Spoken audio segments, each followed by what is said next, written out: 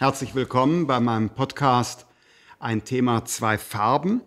Ähm, wir hatten äh, jetzt ein paar technische Anlaufschwierigkeiten, deshalb habe ich jetzt hier auch diese äh, großen Kopfhörer. Aber am Ende hat es geklappt, dass ich jetzt verbunden bin mit einem Gast von der anderen Seite des äh, Atlantiks, dem deutschsprachigen Gesicht der Wall Street, nämlich Markus Koch.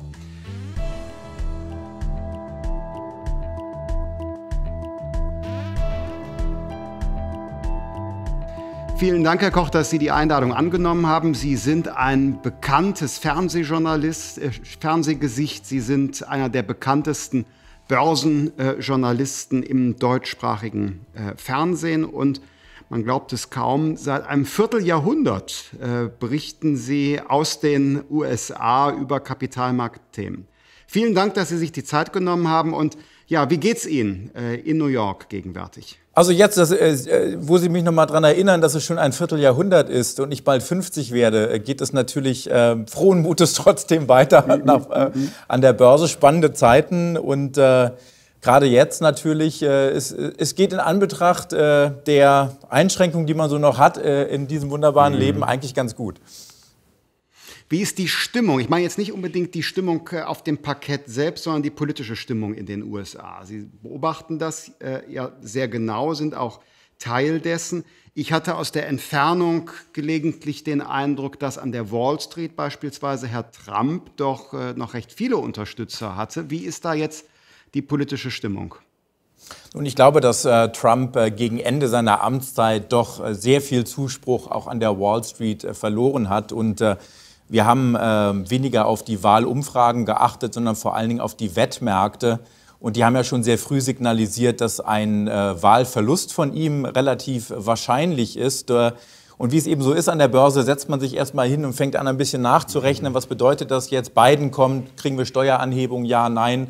Was macht die Börse draus? Und zu guter Letzt ähm, äh, haben wir, kriegen wir jetzt natürlich noch mehr Stimulus äh, für die Wirtschaft. Äh, Frage ist, ob es zu viel ist. Das ist das, was uns aktuell am meisten beschäftigt. Aber Biden ist ja wohl. Also Überhitzung. Mhm. Ganz klare mhm. Überhitzung. Und, äh, und äh, look, äh, wir hätten mit Biden Stimulus bekommen, wir hätten mit mhm. Trump Stimulus bekommen. Und in aller Fairness muss man Trump eins lassen. Er hat sehr früh gehandelt, was zumindest mal den Einkauf von Impfstoffen betrifft. Und dementsprechend haben die Vereinigten Staaten die Nase hier vorne. Davon profitiert Biden jetzt natürlich auch, der das noch weiter ausbaut. Und deshalb sehen wir eine relativ schnelle Normalisierung der Lage. Ja, das beobachten wir von hier natürlich auch in der ersten Phase der Pandemie. Da konnten wir uns als Deutsche ja eines guten Managements rühmen. Und jetzt stellen wir fest, bei, bei Tests und beim Impffortschritt, da wo es also um innovatives, um unternehmerisches, im besten Wortsinne, Handeln ähm, des Staates geht, da laufen andere uns den Rang ab. Das ist sehr beachtlich, wenn man sieht, wie in den USA oder auch in Israel geimpft wird. Und äh, bei uns haben selbst viele betagte und hochbetagte Menschen noch gar keinen Zugang. Wir kriegen gar nicht alles verimpft. Das ist also hier ein echtes Problem. Und der Vergleich zu den USA, der wird politisch noch eine Bedeutung haben in der nächsten Zeit.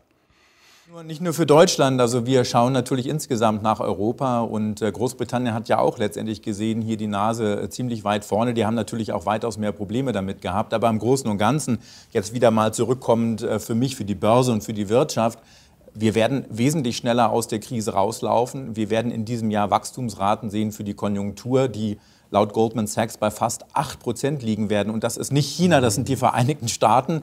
Das ist wirklich wuchtig. Und jetzt kommen nochmal 1,9 Billionen Dollar obendrauf. Vielleicht werden es auch nur 1,6 Billionen, nur in Anführungszeichen. Das ist ein Haufen Holz. Das sind fast, äh, sagen wir mal, 15 bis 18 Prozent der gesamten jährlichen Wirtschaftsleistung. Die Amerikaner machen halt das, was sie immer machen. Wenn sie äh, löschen, dann äh, wird eben nicht mit dem Tankfahrzeug gelöscht, mhm. sondern gleich mit, mit allem, was man holen kann. Ja, und wenn man sieht, welche Unternehmen in den USA äh, entstanden sind während der vergangenen 20 Jahre, das sind ja auch welche, die jetzt nach der Pandemie in besonderer Weise profitieren. Wenn man sieht, wie der Marktanteil von, von Amazon ähm, auch äh, auf dem europäischen Markt, im deutschen äh, Markt gewachsen ist, welche Probleme der stationäre Handel hat. Also es ist, sind die politischen Rahmenbedingungen. Die USA sind schon im Startblock jetzt für äh, die Aufholjagd, während, während wir noch nicht mal ähm, ähm, äh, die Schuhe sozusagen angezogen haben für den Sprint. Äh, und es verändern sich äh, eben die Unternehmen, die Plattformunternehmen haben jetzt nochmal zusätzliche, zusätzliche Marktchancen gewonnen. Also ist für uns sicherlich auch ein regulatorisches Problem, der einst mal bei diesen Monopolstrukturen, die sich da äh, inzwischen ausgeprägt haben. Aber ich wollte mit Ihnen sprechen, äh, eigentlich ja über die, die Entwicklung Kapitalmarkt, aber nicht speziell ähm, auf die aktuelle Situation, sondern generell interessieren mich ein paar Dinge. Wie sind Sie eigentlich selbst, bevor wir jetzt in Medias Res kommen, wie sind Sie eigentlich selbst zur Börse gekommen? Wenn ich es richtig äh, erinnere, ja schon zu Schülerzeiten oder jedenfalls sehr jung haben Sie schon sich am Kapitalmarkt engagiert. Ja, das Ganze fing mit, der, mit dem Börsenspiel an, das es ja schon seit gefühlten äh, 100 mhm. Jahren gibt in Deutschland. Und äh, damals habe ich Blut geleckt äh, und bin seitdem wirklich äh, an der Stange geblieben, weil für mich äh, Wirtschaft und Börse ähm, das ist eine, eine der spannendsten Themen. Für mich mhm. nicht unbedingt, weil jetzt, ähm, weil es um Zahlen geht und ich mich unglaublich freue, wenn jetzt eine Zahl größer ist als die kleinere, aber diese, diese psychologische Komponente, die mit Geld verbunden ist und vor allen Dingen diese Verbindung quasi aus der Grassroot-Perspektive von unten nach oben, das hat mich schon immer, immer fasziniert. Ähm, wir alle wirtschaften, ne? selbst die, die nicht Börsianer sind, müssen wirtschaften und wir sind ein Teil mhm. des Systems. Und das hat mich in jungen Jahren schon begeistert. Mit 16 fing ich an. Äh, und äh, mit, äh, wann bin ich hier rübergekommen? 1992 bin ich in die Vereinigten Staaten gegangen, wie man das so macht, ohne Visum, Touristenvisum. Und habe mich dann durchgearbeitet, war erstmal in der Poststelle von einem Aktienfonds und mhm. habe dann meine ersten Brokerprüfungen gemacht, bis ich dann bei Bear Stearns gelandet bin. Großes Brokerhaus damals. Und 1994 habe ich dann schon meine Presseagentur aufgemacht. NTV ist ja eine wesentliche Komponente, aber das Handelsblatt ist mit dabei mhm. und äh, was äh, für mich äh, jetzt äh, auch eine große Rolle spielt. Und ich bin ganz stolz, dass es unsere erste Schaltung hier ist aus dem großen Studio. Wir sind umgezogen, bauen ein 150 Quadratmeter großes Livestreaming-Studio in New York und wollen äh, Börsenberichterstattung aus einer äh, gemütlicheren Perspektive erzählen. Also nicht mhm. dieses kühle Banking, sondern eher äh, die, die Wohnzimmeratmosphäre, in der man quasi sich auf gleicher Augenhöhe austauscht. Wie, wie kam es denn dazu, dass Sie in jungen Jahren mit, mit äh, um die 20 aus Deutschland, aus der Nähe von, von Frankfurt, glaube ich, in die USA gegangen sind, ohne Ausbildung, ähm, ohne, ohne Arbeitserlaubnis? Wie kam es dazu? Warum USA? Also ich, ich habe, äh, also Börse, bei Börse muss man natürlich irgendwann an die Wall Street gehen. Ich glaube, das ist der Traum eines jeden Börsianers, einmal an der legendären Wall Street zu sein. Und ich bin äh, tatsächlich jetzt äh, der Journalist, der am längsten an der New Yorker Aktienbörse ist, seit 96 mittlerweile. Also die Wall Street, das, das, das ist das Traumbild eines jeden Börsianers, damals noch mehr als heute, würde ich mal sagen. Und äh, für mich gab es zwei Komponenten. Ich bin in sehr jungen Jahren auf die Nase gefallen, habe damals auf Pump spekuliert, Wertpapierkredite, ne, das Geld musste zurückgezahlt werden, nicht jeder Trade ging auf. Äh, und für mich war, äh, waren die Vereinigten Staaten auch ein bisschen die Flucht nach vorne. Ähm, also einmal an die Wall Street zu gehen, den eigenen Weg zu gehen, einen Neuanfang zu machen und natürlich, um das gleich vorweg zu sagen, auch in der Lage zu sein, diese Wertpapierkredite wieder zurückzuzahlen. Das ist schon lange her, mhm. über 30 Jahre, das ist mir dann auch gelungen. Aber die Flucht nach vorne war auf jeden Fall für mich der, der Weg in die richtige Richtung. Sie haben jetzt gerade die, die Wall Street schon hervorgehoben. Wenn man sich für Aktienkapitalmarkt äh, interessiert, dann, dann äh, möchte man dahin. Ähm, womit hängt das zusammen, dass in den USA die, die, die Aktien- und Kapitalmarktkultur ja dann ganz offensichtlich viel ausgeprägter ist als bei uns? Das hat äh, viele kulturelle Gründe, das hat aber sicherlich auch sehr viel mit der Politik zu tun. Wenn, wenn ich mal mein aktuelles Beispiel nehme, bei uns ist es ganz normal, dass meine Tochter ist jetzt acht Jahre alt, dass ähm, hier ein äh, steuerbegünstigter äh, Sparplan für Kids gemacht wird oder die Pensionspläne, die wir hier in den USA haben, die, die IRAs und wie sie alle heißen, mhm. bei denen wir die Möglichkeiten haben, wirklich viel Geld jährlich auch in äh, diese steuerbegünstigten äh, Rentenmodelle zu stecken das, das fließt den Amerikanern somit eigentlich über Generationen im Blut, weil jeder ab Geburt mehr oder weniger auch schon in den Aktienmarkt investiert ist. Und ich glaube, es hat auch ein bisschen etwas mit dem American Dream zu tun. Also äh, die Tatsache, dass wir unsere Entrepreneure, unsere Macher hier tatsächlich auch feiern. Also wenn wir mal Elon Musk nehmen, der zwischen Genie und Wahnsinn pendelt, aber er ist eben diese amerikanische Ikone, die uns nach äh, dem Ableben von Steve Jobs auch ein Stück weit verloren gegangen ist. Und äh, dieser American Dream, der Underdog, der irgendwann mal groß wird, äh, wie Elon Musk oder Industrien, die neu geschaffen werden, ähm, das, äh, das fließt im Blut der amerikanischen Kultur. Und äh, man ist gerne dabei. Und ich glaube, das ist Börse auch essentiell gesehen, dass, äh, hier, dass es hier wirklich um Erlebnisse geht. Äh, es geht um Unternehmen, die entstehen, um Menschen, die sehr reich werden. Es geht aber auch um Niederlagen und es geht um Neuanfänge.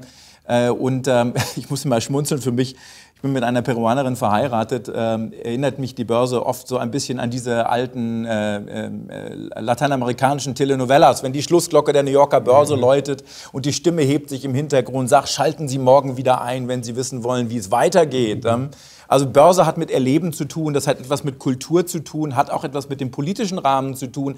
Und all das passt letztendlich gesehen und, und speist natürlich auch äh, den, den Spirit des amerikanischen Marktes. Mhm.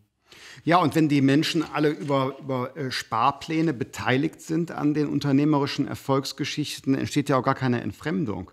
So ist das bei uns nach meinem Eindruck oft, dass man so auf die Wirtschaft und die Unternehmen schaut, als handele es sich da um eine Sphäre, die mit dem eigenen Leben gar nichts zu tun hat, äh, weil man hat ja seine äh, gesetzliche Rente. Während, äh, so stelle ich mir es zumindest vor, wenn ich weiß, dass ich von den Erfolgen am Kapitalmarkt am Ende selber profitiere und nicht nur einige wenige, dann habe ich ja mehr Interesse und auch mehr Akzeptanz oder auch so mehr Interesse sogar an unternehmerischen Erfolgen. Ja, also ich meine, äh, ich, ich glaube, ja, Sie haben vollkommen recht. Ähm, ich glaube, dass äh, der politische Rahmen ein ganz entscheidender ist. Ne, denn Steuern sparen, das tut man in Deutschland natürlich mhm. auch gerne.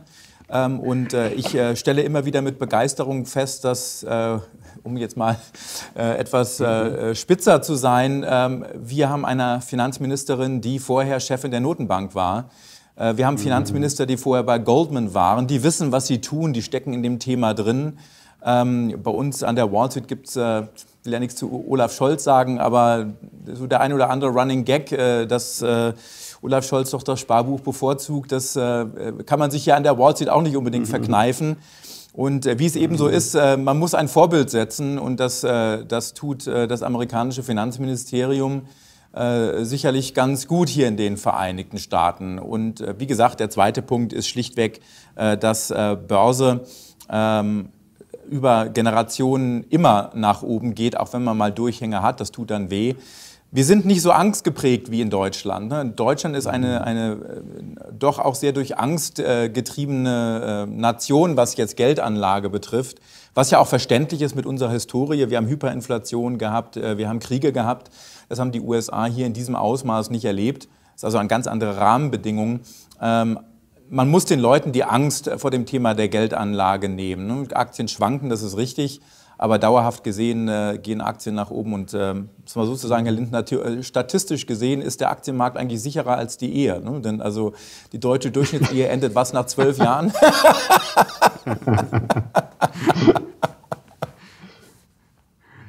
Sie haben übrigens gerade, ist Ihnen das aufgefallen, gesagt, wir sind nicht so angstgeprägt. Wir, die USA. Fühlen Sie sich eigentlich heute äh, stärker als Amerikaner als als Deutscher? Ähm, äh, ich suche mir das raus, was äh, ich von beiden Kulturen am besten finde. Also ich, das ist, aber das ist, das ist ja auch das Schöne, wissen Sie, Herr Lindner, wenn ich in Amerika auf der Bühne stehe und einen Vortrag halte, kann ich sagen, was ich will, dann setzt sich der Ami hin und sagt, naja Gott, das ist halt ein Deutscher. Ne? Ist, äh, und wenn ich in Deutschland auf der Bühne stehe, dann sagt man, naja Gott, der lebt halt schon lange in Amerika. Also es ist sehr schwer, mich ja. irgendwo einzuordnen, das genieße ich ein Stück weit. Ähm, und äh, im Herzen werde ich immer Europäer sein. Ich will nicht mhm. sagen Deutscher, Europäer ganz bewusst. Ähm, und was unsere Kultur betrifft, auch die Werte, die wir haben, äh, auch wie wir Freundschaft leben, äh, werde ich äh, im Herzen immer Europäer sein. Ähm, was den Spirit betrifft, also auch diese Freude auch mal an Niederlagen, also etwas zu machen, wissentlich, dass man scheitern kann. Also, äh, und Scheitern ist ein Teil der Kultur in den Vereinigten Staaten. Ähm, das genieße ich natürlich auch und ich glaube, das ist in den Zeiten, in denen wir jetzt leben, in dem eine der wenigen kulturellen Exportgüter der USA uns wirklich viel beibringen können. Jazz, Jazz ist Improvisierung. Mhm. Und Improvisation ist etwas, was wir gerade jetzt in diesen Zeiten machen müssen, in Covid-Zeiten. Ähm, in denen man letztendlich gesehen Dinge umsetzen muss, die es historisch gesehen mhm. Äh, sehr selten oder noch gar nicht gegeben hat. Und da profitieren die Amerikaner natürlich durchaus von diesem Willen und, und auch diesem Wunsch, mhm. gelegentlich mal zu scheitern und dann wieder mhm. wie der Phönix aus der Asche aus, aufzuerstehen. Ja, uns ist das auch sehr sympathisch. Ich sage manchmal, dass so die, die äh, FDP, wir als deutsche Liberale, wir sind so die angelsächsischste Formation, die es in der politischen Landschaft in Deutschland gibt, weil diese Can-Do-Mentalität, diese Leistungs- und Risikofreude, auch so ein wohlverstandener Individualismus ähm, während andere stärker so in Kollektiven denken. Das hast du sonst in der deutschen Politik so, so nicht. Und äh, manchmal merkt man auch so ein bisschen ein Fremdeln in der deutschen Gesellschaft mit liberalen Positionen, weil wir eben doch eine andere kulturelle Grundierung haben hier. Aber gut, es muss eben muss eben auch so eine besondere, ich sage mal, Boutique wie die FDP geben, weil es gibt ja auch Menschen, die diese Can-Do-Mentalität in der Gesellschaft haben. Jetzt kann ich ja verraten, dass ich mit 18 Mitglied der FDP war. Ja. Otto Graf Lambsdorff kenne ich noch gut. Äh, ich habe damals in Düsseldorf gearbeitet, äh, schon lange her, ja, ähm, aber ich war früher auch mal mit dabei. Das ist ja amüsant, das war genau in der Zeit, wo Sie eben gesagt haben, dass Sie äh, auf Pump spekuliert haben. Waren Sie sehr unvorsichtig in den Jahren offenbar. das lag nicht an der FDP, das versichere ich Ihnen. Ja. Ähm, also interessantes Bekenntnis, das nehme ich auf. Äh, im, im, Nachgespräch werden wir später mal äh, noch rausarbeiten, was man tun kann, um sie wieder in die deutsche Politik zu lotsen. Aber vielleicht fangen wir mit einer fachlichen Frage an, kurz bevor ich abgebogen bin, äh, weil Sie sagten, wir sind nicht so angstgeprägt, wir Amerikaner. Wollte ich eigentlich, eigentlich ja ganz streng sachlich, fachlich fragen, was wäre denn Ihr Policy Advice? Für Deutschland. Sie haben ja hervorgehoben, in den USA mit äh, den äh, Sparplänen, Pensionsfonds entsteht eine Aktienkultur, die Leute profitieren von der Dynamik am Kapitalmarkt. Was würde sich für Sie denn daraus als Policy Advice für Deutschland ergeben? Also man sollte die Aktienanlage nicht verteufeln und, ähm, und auch, äh, auch recht, äh, zu Recht nicht bestrafen. Äh, der Gedanke auch einer äh, Aktientransaktionssteuer, der ja in den Vereinigten Staaten auch abgelehnt wird. Äh, ich glaube, dass ähm, dadurch spekulative Exzesse oder mögliche Manipulationen nicht unbedingt erschwert werden und dass das zu guter Letzt eben dann auch zum Nachteil der Privatanleger ist. Also ich würde auf jeden Fall die, den Aktien als ein Ansparmodell für für die breite Bevölkerung wesentlich stärker darstellen. Wissentlich natürlich, dass Aktien schwanken, das ist richtig. Aber bei Dingen der Altersvorsorge geht es ja nicht um äh, ein oder zwei Jahre oder fünf Jahre, da geht es um wirklich lange, lange Zeiten. Ähm, und ähm, Unternehmen, Börse, die Börse, der Aktienmarkt ist ja nichts Böses. Wir nutzen äh, unsere Unternehmen, die börsennotiert sind, an jedem einzelnen Tag. Und ähm, um Ihnen mal ein Beispiel zu nehmen, ein sehr extremes Beispiel, dass ich ähm, jetzt, ähm, also um Gott, ich setze mich jetzt nicht hin und sage, um Gottes Willen, Spekulationsblasen mhm. sind etwas Tolles, die tun zu guter Letzt weh, wenn sie dann mal platzen. Aber die Ironie ist, dass selbst Spekulationsblasen, wie wir sie jetzt Stück weit erleben, ähm, unglaublich innovationsfördernd sind. Ende der 90er Jahre war der große Schub an Innovationen auch durch das viele Kapital, das letztendlich in diese Blase hineingeflossen ist. Wir sehen das aktuell in den USA auch, wie viele Unternehmen im Bereich der E-Mobility an die Börse gehen, Wasserstoffunternehmen an die Börse gehen. Bei vielen fasst man sich an den Kopf und sagt, mein Gottes Willen, das sind die nie im Leben wert. Aber die Tatsache, dass durch die Verbindung zum Aktienmarkt überhaupt erstmal die Möglichkeit entsteht, so viel Innovation zu fördern, das darf man nicht unterschätzen. Und ich glaube, je vorsichtiger man ist und je stärker das Thema reguliert wird, umso stärker riskiert man letztendlich gesehen auch Innovation mit zu unterbinden. Und ich glaube, da müssen wir, müssen wir sehr aufpassen, dass wir im internationalen Vergleich nicht den Anschluss verlieren. Hm. Ja, ich glaube, die Eisenbahngesellschaften, die in den USA im 19. Jahrhundert die Trassen gebaut haben, die sind auch alle pleite gegangen danach, aber die Trassen sind geblieben. Also nicht individuell erfolgreich gesellschaftlich. Ne? Absolut. Und das soll kein, kein Appell für Spekulationsblasen sein. Das ist nochmal ganz wichtig. Ähm, aber es soll einmal noch zeigen, dass in, in jedem Punkt auch ein Vorteil liegen kann. Ne? Und solche Entwicklungen sind letztendlich gesehen eben durchaus, haben auch ihre positiven Seiten. Ne? Und man kann sich gegen die, ähm, das Scheitern eines einzelnen Unternehmens oder Geschäftsmodells oder den Abstieg einer Branche ja auch schützen, indem man nicht äh, alles auf eine Karte setzt, sondern klugerweise, wenn es um Altersvorsorge geht, äh, ja in einen ganzen Markt investiert oder vielleicht sogar weltweit Aktienanlagen nutzt, statt nur, nur ähm, eine einzelne, ein einzelnes Papier zu kaufen. Das ist ja eigentlich, würde ich sagen, Anfängerwissen für Kapitalmarkt. Klar, absolut. Es kommt immer aufs Streuen an und man darf nie vergessen, also ne, als Börsianer kriegt man natürlich oft die Frage, äh, kann man jetzt noch? Und äh, das ist aber nicht die Frage, die sich stellt. Die Frage, die sich stellt, ist immer, wie viel kann ich? Wie viel Zeit habe ich? Und vor allen Dingen auch, wie viel Schmerz kann ich ertragen. Denn wir, mhm. an der Börse geht, geht es um, im Wesentlichen um zwei tragende Faktoren. Es geht um einmal um, um, die Frage, was passiert als nächstes. Und das ist eine Frage, die wir uns nicht nur an der Börse stellen, sondern die wir uns weit abseits der Börse in vielen Bereichen unseres Lebens stellen. Ne, Bleibe ich gesund? Äh, ne, was wird meine Tochter mal machen? Äh, wie geht es im Job weiter? Und genauso stellen wir uns an der Börse natürlich die Frage, was als nächstes passiert es ist die Zukunft und die Zukunft ist immer eine ungewisse. Und deshalb muss man seine Risiken kennen äh, und äh, dementsprechend auch handeln. Und der zweite Faktor äh, ist die Hoffnung. Wenn wir heute wissen, was morgen passiert, dann bräuchten wir Menschen nicht mehr hoffen. Und das ist auch an der Börse ein sehr, sehr tragender Faktor. Was ich damit sagen will, ist, dass es, man, man betrachtet die Börse als so ein fremdes Wesen. Aber in Wirklichkeit können wir von der Börse auch für uns, für unser eigenes Leben äh, und wie wir agieren in unserem Leben sehr, sehr viel lernen. Börse zwingt zum offenen Denken, weil hier auch Umbrüche passieren, weil hier Innovationen stattfinden äh, und weil man über den Tellerrand schauen muss. Und äh, wo brauchen wir das nicht? Auch weit abseits der Börse. Das ist ein ganz wesentlicher Teil in jedem Aspekt unseres Lebens. Mhm. Ähm, teile ich absolut. Deshalb setzen wir uns auch stark für ich sage mal, Sparen in Wertpapieren äh, ein. Ähm, Sie haben sehr defensiv eben gesagt, die Aktie nicht verteufeln. Ähm, äh, so würden es die meisten Deutschen tatsächlich auch vielleicht formulieren, wenn sie schon sehr ambitioniert sein wollen. Also nicht verteufeln. Ähm, ich würde sagen, wir müssen mehr Menschen äh, an den Kapitalmarkt bringen und die Aktienanlage wesentlich attraktiver machen.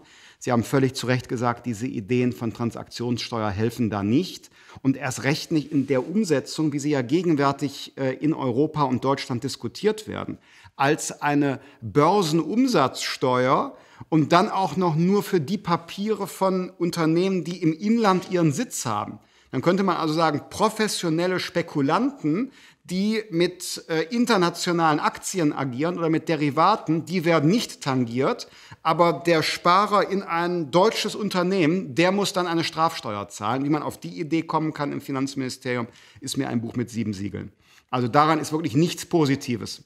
Also da bin ich, bin ich vollkommen bei Ihnen und, ähm, äh, und, und dann bin ich eigentlich auch bei einem aktuellen Thema, diese ganzen GameStop- äh, also äh, GameStop-Volatilität, die Schwankungen, die Reddit-Boards, äh, die ähm, Wall Street Bets-Boards, äh, die hier an der Wall Street für Furore gesorgt haben. Und bevor wir das Thema vertiefen, was mich hier sehr positiv überrascht hat, ist die Haltung der amerikanischen Politik und der Regulatoren gewesen. Wir haben ja Anhörungen in Washington gehabt zu diesem Thema. Und was bei diesen Anhörungen sehr schnell klar wurde, ist, dass es bei weitem nicht darum geht, äh, Privatanleger zu regulieren. Die Frage zu stellen, ähm, ob hier Privatanleger möglicherweise oder kleinere Anleger den Markt manipuliert haben. Vielmehr hat man die Gelegenheit genutzt, mal die richtigen Fragen zu stellen gegenüber den institutionellen Investoren. Wie funktioniert der Hochfrequenzhandel? Wie funktionieren Leerverkäufe eigentlich wirklich? Wie kann das passieren, was passiert ist? Äh, wie kann es sein, dass Online-Broker wie Robinhood äh, für Null Gebühren handeln? Wie werden die bezahlt? Ähm, und der Grundtenor ist aber ganz klar, dass es hier eher darum geht, mehr Transparenz zu schaffen auf der Industrieseite, als jetzt unbedingt die Privatanleger zu regulieren. Ich finde, dass das Internet und Social Media uns hier eine unglaubliche Chance bietet, weil wir eben die Möglichkeit haben, auf gleicher Augenhöhe miteinander zu kommunizieren. Wir machen das jetzt zwischen den USA und Deutschland. Ich mache das regelmäßig in meinen Social Media Streams mit mittlerweile auch fast 260.000 Fans diese tolle Chance zu haben, miteinander sprechen zu können und ein besseres Verständnis füreinander zu entwickeln. Ähm, ich gehe auf den Punkt äh, sofort noch ein. Äh, da habe ich nämlich eine Anschlussfrage. Ich will noch eben bei der Attraktivität von Aktien bleiben und unser schönes Gespräch für einen Werbeblock nutzen, weil ich ahne, dass ganz viele äh, Börseninteressierte uns jetzt ihretwegen zuhören. Und denen will ich sagen, die FDP will die Spekulationsfrist wieder einführen. Sprich, wer eine Aktie lange hält, also über einige Jahre und damit offensichtlich nicht spekuliert, sondern sie zum Vermögensaufbau nutzt, der und dem wollen wir gerne die Steuerlast auf die Erlöse abnehmen, eben um attraktiv zu machen, langfristig ähm, in, in Aktien zu investieren. So, jetzt äh, zurück zu dem Punkt, den Sie gerade angesprochen haben. Denn äh, tatsächlich gibt es ja einen regelrechten Aktienboom in Deutschland.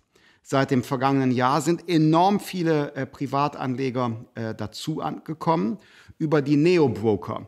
Und äh, das ist eine Diskussion gewesen, die wir vor einigen Wochen sehr intensiv geführt haben. Auf der einen Seite die Absprachen und auf der anderen Seite dann die Neo-Broker, auf denen viele quasi auf spielerisch fast äh, sich am Kapitalmarkt engagiert haben. Und nun passierte was Faszinierendes.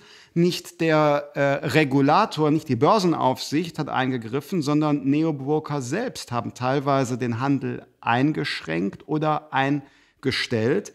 Da habe ich viele, viele empörte E-Mails bekommen. Ähm, Sie nicken schon, Sie haben das Thema auch äh, intensiv bearbeitet. Was ist Ihre Meinung? Also man, also zum einen, das ist natürlich, das ist, wie lange darf ich antworten? ähm, Solange Sie wollen. also ich glaube, dass Neo-Broker und die Abschaffung von Handelsgebühren, dass das im Großen und Ganzen zunächst einmal begrüßenswert ist, weil dadurch natürlich das Thema stärker demokratisiert wird. Ähm, ich glaube auch, dass Gamifizierung nicht das Problem ist, denn wir leben im Internetzeitalter. Viele Bereiche unseres Lebens haben mit Gamifizierung zu tun. Und ich glaube, es geht vor allen Dingen darum, auch um ältere Generationen, dazu zähle ich mich auch, zunächst einmal zu verstehen, was da überhaupt passiert ist dass es wie üblich in der Gamifizierung eben nicht nur einen Spieler gibt und ein Ziel, sondern viele unterschiedliche Akteure, die Profis, die Laien, die Bots. Ähm, äh, und das muss man erstmal verstehen. Ähm, ich glaube tatsächlich, dass zumindest hier in den Vereinigten Staaten, ich kann mir zu Deutschland da kein Urteil bilden, ähm, dass es hier tatsächlich um die Sicherheit des Finanzsystems ging.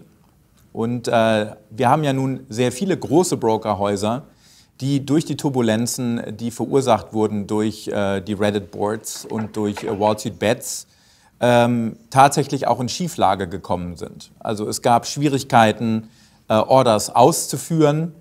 Und im Fall von Robinhood muss man sich im Klaren sein, dass es tatsächlich ein Zeitfenster gab von wenigen Stunden, in dem die Gefahr bestand, dass Robinhood äh, letztendlich abgewickelt werden muss. Ähm, dass man kann dem äh, Vorstand äh, nur danken, dass er in der Lage war, äh, in so kurzer Zeit über drei Milliarden Dollar an Kapital aufzutreiben. Mhm. Ähm, dass Robinhood deshalb die Käufe bestimmter Aktien zeitweise verboten hat, darüber kann man streiten. Ähm, und ähm, die Frage ist, ähm, also ich glaube, dass es im Wesentlichen darum geht, das System vor einem stärkeren Einbruch äh, zu schützen. Es gibt viele, die sagen, das ist übertrieben. Wenn man sich die großen Brokerhäuser anschaut, Interactive Broker ist ein so großes Brokerhaus, die über 5 Milliarden im Barmittel haben. Der dortige CEO betont auch, äh, dass wir sehr nah an einem, zu einem, an einem echten Problem waren. Und hier muss man, glaube ich, eher die Frage an Robert Hood wenden. Wie kann es passieren, dass das Risikomanagement eines solchen Hauses so schlecht ist, dass ein Unternehmen durch solche Turbulenzen so schnell an den Rand kommen kann? Das darf eigentlich nicht passieren. Ähm, äh, ist passiert äh, und ich bin gespannt. Robinhood wird ja in äh, Kürze auch an die Börse gehen, ähm, ob Robinhood hier nicht noch ernsthafte Probleme bekommt. Hm. Aber darf ich das nochmal genauer nachfragen, um es zu verstehen? Äh, das Problem war nicht das Handelsvolumen, sondern es war die Zahl der Orders. Also ein IT-Kapazitätsproblem. Man kann es relativ einfach erklären. Also der, ähm, und ich sage jetzt ganz bewusst vereinfacht erklärt. Wir haben also den Broker in der Mitte, wir haben links den Käufer und rechts den Verkäufer. Wenn also eine Transaktion stattfindet und aus irgendwelchen Gründen fällt in dieser Transaktion der Käufer flach, weil er pleite ist und nicht zahlen kann, zum Beispiel, dann haftet das Clearinghouse oder der Broker. Mhm. Weil die Transaktionsvolumen so schnell und so groß waren, ähm, äh, und äh, die Clearinghäuser dann die also diese Transaktion auch mit abwickeln, höhere Kapitalreserven gefordert haben, die äh, Robinhood nicht liefern konnte, hätte das im Zweifel eine Liquidierung mhm. des gesamten aller Depots von allen Kunden bei Robinhood bedeuten können. Und das wäre natürlich auch für die Börse insgesamt fatal gewesen. Mhm. Jetzt, wenn wir über diese innovativen Entwicklungen sprechen ähm, in der neueren Zeit, darf eine äh, nicht fehlen, nämlich Bitcoin. Wie schauen, also da haben wir jetzt nun gar nichts mehr mit Regulator und Börse zu tun momentan, aber trotzdem ein, ein Riesenthema, das neue Gold, äh, sagen manche. Wir haben jetzt unglaubliche Schwankungen erlebt. Herr Musk ging rein, Milliarden raus jetzt wieder, ich weiß nicht, wo es heute steht, unter 50.000. Ich weiß es nicht. Wie, wie schauen Sie darauf? Das kommt immer auf die Minute an, nicht wahr, äh, wo Bitcoin steht.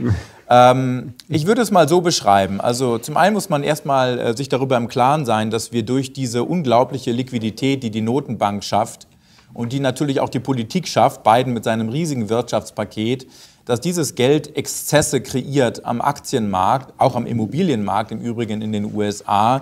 Das ist, glaube ich, nicht von der Hand zu weisen. Das sehen wir in den USA vor allen Dingen daran, dass die Penny Stocks, die also teilweise unter 10 Cent notieren, äh, äh, jetzt schon in Billionenzahl gehandelt werden. Das sind also äh, Zeichen von Exzessen, die mich ehrlich gesagt auch als Börsianer ein bisschen beunruhigen. Ähm, für mich, und jetzt bin ich schon lange mit dabei, Sie haben es ja am Anfang gesagt, ne, schauen Sie mich an, ne, der arme Kerl, ein Viertel schon Börse. Ja. Kein Wunder, dass ich so alt aussehe. An der Börse sieht man manchmal alt aus. Ja. Ähm, aber wir haben schon alles gesehen. Nehmen Sie mal die Charts von Übertreibung der Vergangenheit. Ne, was senkrecht hoch geht, geht senkrecht auch wieder runter. Äh, der Chart von Bitcoin sieht genauso aus wie der Chart von Tesla, sieht genauso aus wie der Chart von Softbank äh, zur Jahrtausendwende. Ähm, das wieder, das, diese Spiele wiederholen sich alle. Ähm, zu Bitcoin selber ähm, finde ich den spannendsten Aspekt, dass die äh, Regulatorik, glaube ich, hier zunehmend Schwierigkeiten bekommen wird.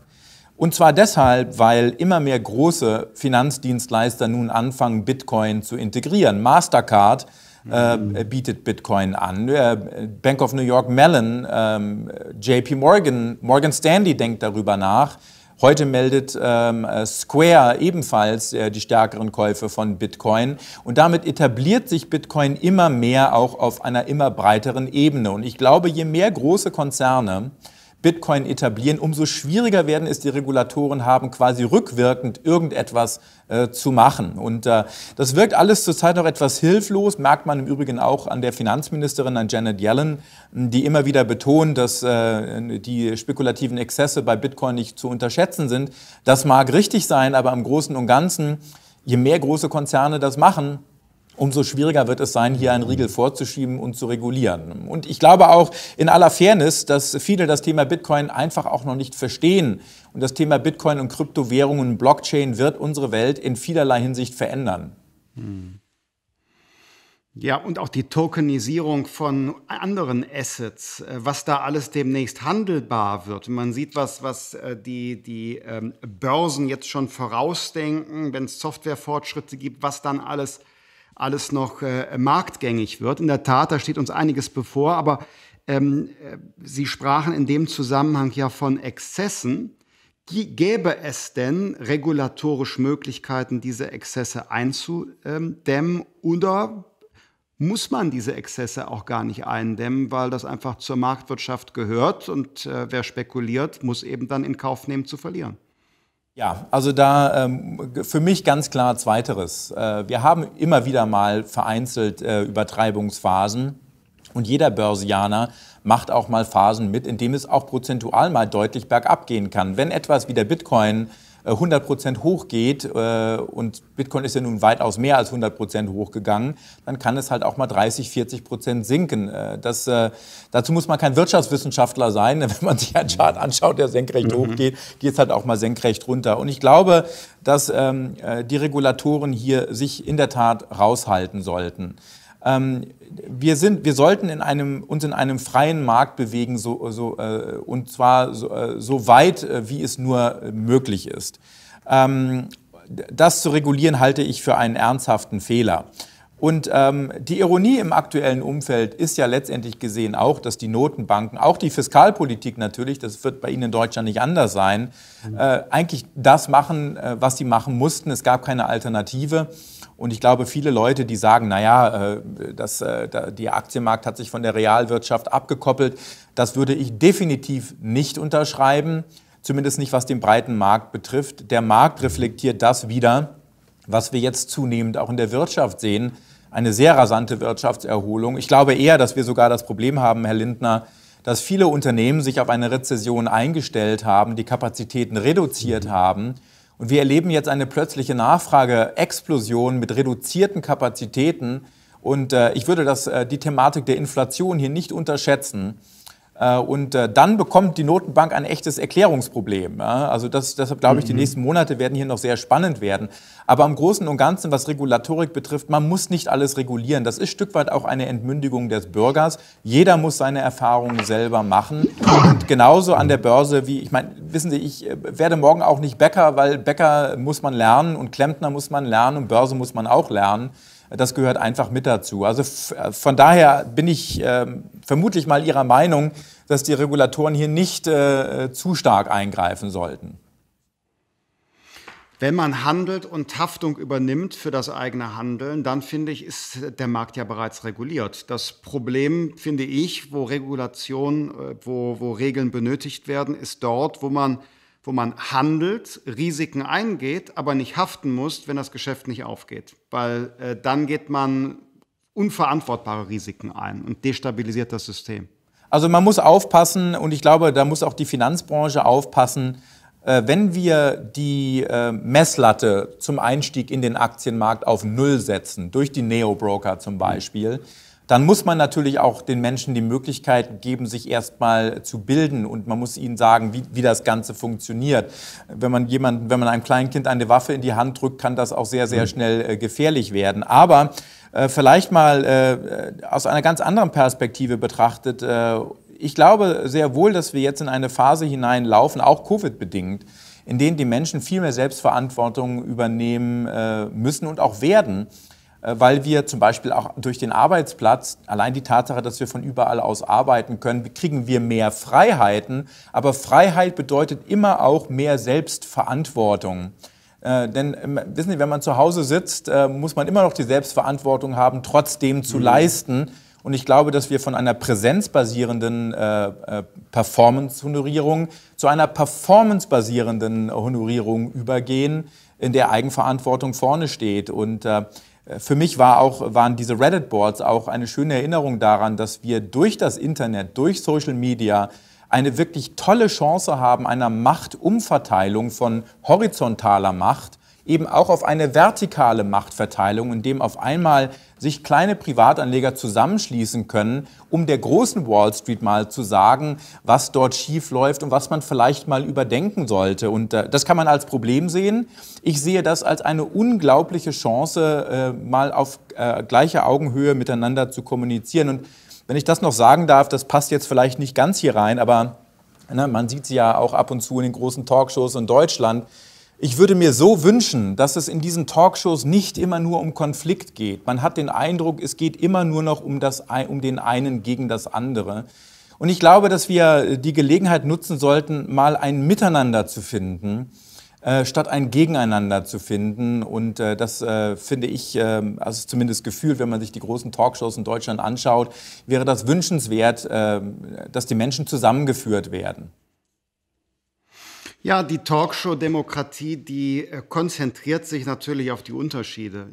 Sie haben aber völlig recht damit, dass die politische Kultur in Deutschland auch zwischen den unterschiedlichen ähm, äh, Wettbewerbern eigentlich durch Gemeinsamkeiten geprägt ist. Gerade wenn man das vergleicht mit den USA und der äh, enormen Polarisierung der Gesellschaft, äh, dem, dem Versuch, den politischen Mitbewerber zum Feind zu machen und vernichten zu wollen, das gibt es hier in Deutschland äh, Gott sei Dank nicht. Ich habe in meinem Podcast den Dietmar Bartsch beispielsweise gehabt.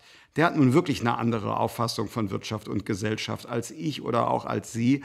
Und trotzdem war das ein ähm, äh, zivilisiertes, übrigens auch angenehmes und amüsantes Gespräch. Da unterscheiden wir uns Gott sei Dank schon von den USA. Und da darf sozusagen das Quoteninteresse der, der, der Gladiatorenkämpfe äh, im äh, Fernsehen nicht äh, diese Grundgemeinsamkeit gefährden.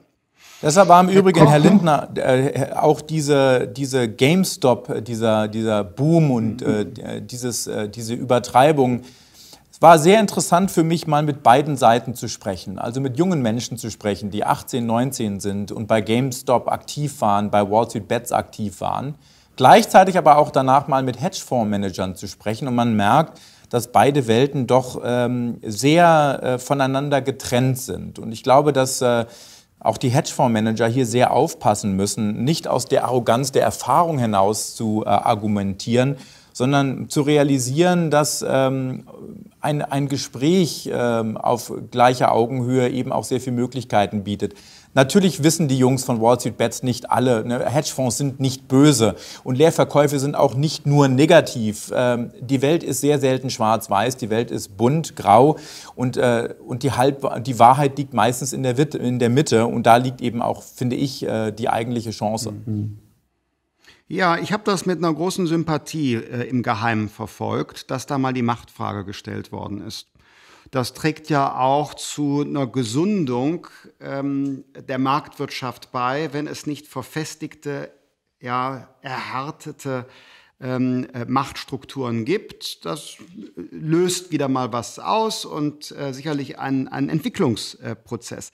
Mir hat das sehr gut gefallen, was Sie im Blick vorausgesagt haben. Jetzt nicht die kurzfristige Betrachtung an den Kapitalmärkten, was uns da alles noch bevorstehen könnte, sondern was Sie gesellschaftspolitisch gesagt haben, dass vielleicht nach Covid ähm, die Frage der Selbstverantwortung, der Flexibilität, ähm, der ähm, äh, Individualisierung auch von, von Vorsorge, ähm, dass das alles eine größere Bedeutung haben könnte, dann würden wir tatsächlich aus dieser Pandemie sogar noch gestärkt hervorgehen. Also lassen Sie uns gemeinsam hoffen darauf, dass es genau dazu kommt. Ja, also das bleibt zu hoffen und man, man sieht, glaube ich, dass der Weg auf jeden Fall in diese Richtung geht. Die USA sind natürlich ganz anders damit umgegangen als Europa, auch was jetzt hier Arbeitsplätze betrifft. Aber äh, wie es eben so ist in den Vereinigten Staaten, ähm, es, ist auch, was den Arbeitsmarkt betrifft, brutaler. Aber man läuft dann auch schneller wieder aus den Krisen raus. Ähm, und äh, ich finde, auch hier ist nochmal ein ähm, ein, ein ähm, ich meine, es, es ist, weiß Gott, ne, The American Dream meines Erachtens ist bei weitem nicht mehr das, was er mal war. Das glaube ich schon. Mhm. Aber ich glaube, diesen Freiraum zu haben, auch den Menschen Eigenverantwortung zu überlassen, Selbstverantwortung zu überlassen und eben im Zweifel dann auch mit dabei zu sein und zu helfen, äh, diese Stimuluschecks, die an die Bevölkerung rausgehen und jetzt auch wieder mhm. rausgehen werden, sind wichtig, zumal natürlich insbesondere in den USA vor allem die ärmeren Schichten mal wieder so stark getroffen werden. Und ich glaube, das ist auch das, das eigentliche.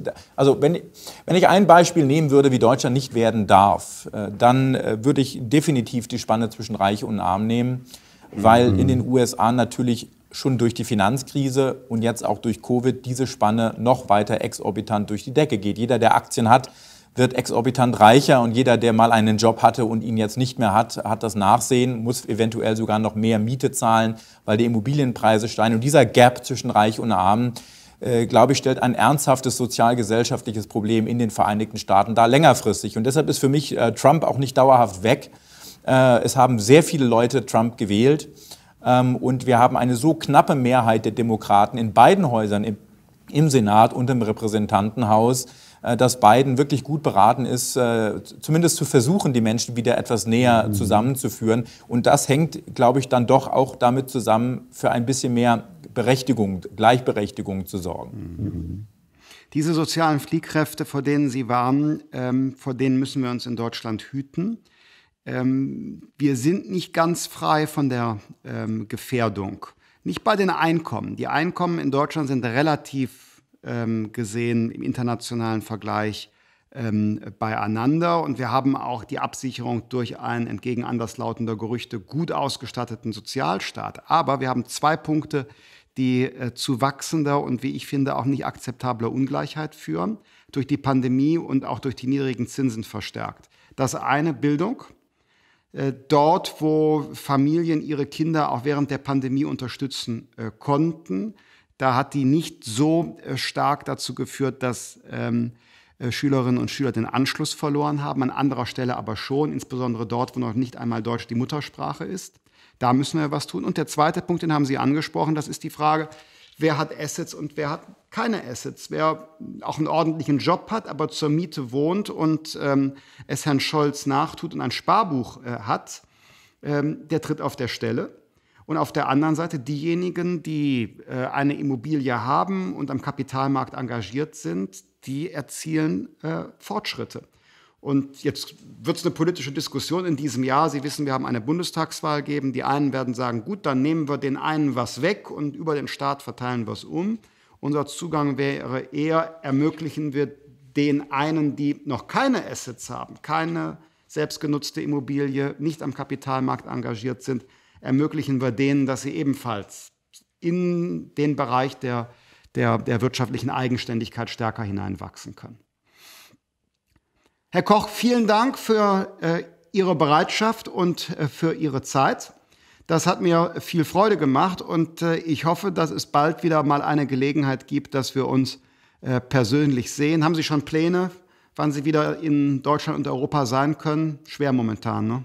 Ja, ich hatte schon so viele Pläne, aber es wurde irgendwie immer ein Strich durch die Rechnung gemacht. Wahrscheinlich sehen Sie mich demnächst als Hologramm auf deutschen Bühnen. Ich weiß es noch nicht. Okay. Aber der Weg nach Deutschland äh, ne, hoffentlich bald, denn ich würde natürlich auch meine Familie mal gerne wiedersehen. Wir können natürlich immer noch reisen. Das muss ich als Green Card Inhaber habe ich jetzt nicht das große Problem zwischen beiden Ländern. Aber äh, ne, man muss die Ehefrau auch glücklich machen und äh, die sagt, nee, Koch, du bleibst zu Hause, weil ne, das mit der Reiserei. Und da füge ich mich natürlich in großer Ehrfurcht und in noch mehr Liebe von meiner Frau. Viele Grüße an Ihre Frau. Herzlichen Dank dafür, äh, dass Sie heute mit dabei waren und auf Wiedersehen. Bleiben Sie gesund. Dankeschön.